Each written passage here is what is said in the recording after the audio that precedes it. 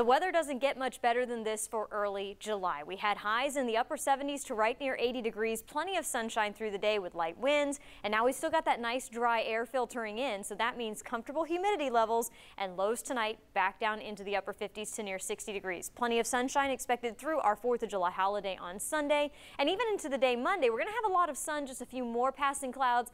Monday, though, is when those temperatures start to crank up. So besides our forecast, we are also keeping an eye on the tropics because we should be good to go through about Monday and Tuesday.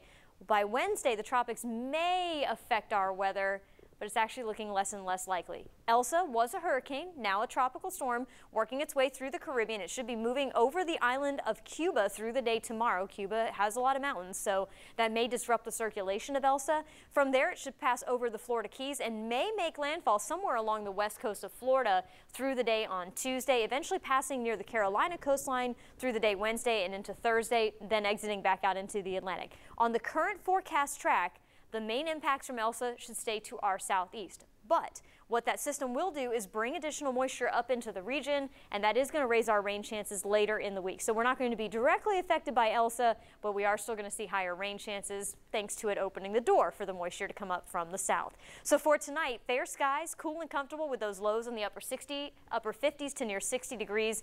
These temperatures are about 5 to 8 degrees below average for this time of year. And then we're back to seasonable norms as we go into the day on Sunday with mostly sunny skies. It's going to be a nice day similar to what we had today, except a little bit warmer. Those highs will be back closer to average for this time of year. We're back into the 90s by Monday and Tuesday. Both of those days will feature increasing humidity as well, so it's going to feel muggier outside.